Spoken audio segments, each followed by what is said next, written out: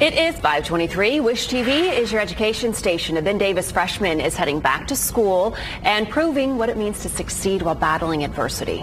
He's fighting a chronic health condition. News 8's Lakin McGee is here now. And how is he advocating for his own needs? Well, we're talking about 15-year-old Xavier Garner. This is him right here behind me. So he's got a lot more on his mind than just textbooks. He's educating others on his chronic disease and showing them it's not getting in his way of finishing high school. At Ben Davis Ninth Grade Center, 15-year-old Xavier Garner is studying for his favorite class. Computer science. His teachers know about his sickle cell disease diagnosis, but it's something he's kept quiet about to his classmates. They might understand what's happening because maybe in their family they might have diagnosis too. Sickle cell disease is an inherited disorder where red blood cells become hard, get stuck, and clog the blood flow. It's kind of hard because you be going in pain most of the time. Like when it's raining or if it's cold, you gotta take your medicine, go to the hospital get checked out, get blood drawn. Xavier gets blood transfusions every five weeks, is in and out of hospitals, had 13 collapsed lungs, and has been in the ICU multiple times making him miss a lot of school. He comes to our clinic about once a month. Steve Yockey is with the Indiana Hemophilia and Thrombosis Center.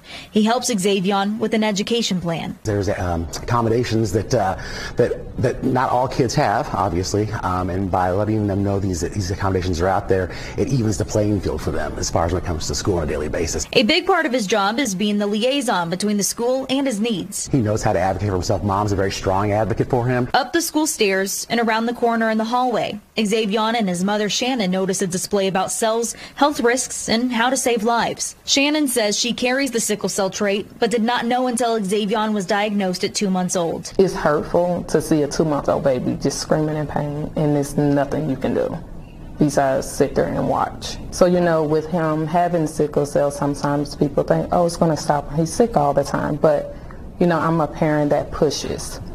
And I let him do whatever he wants. I'm not going to stop him. But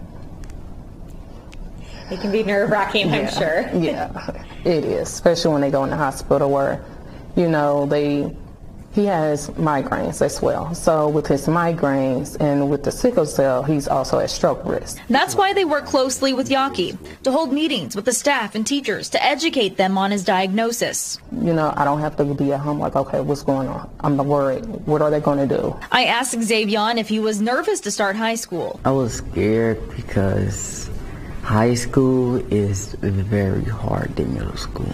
Well, you know what? You've overcome a lot of challenges since you were two months old. So I'm pretty sure high school, it's going to be a breeze for you. Yes, ma'am. Xavier is not letting his sickle cell disease stop him from continuing his education. In fact, he's already started college courses to get a head start on his future. I'm Lakin McGee for Wish TV, wishtv.com, and like us on Facebook.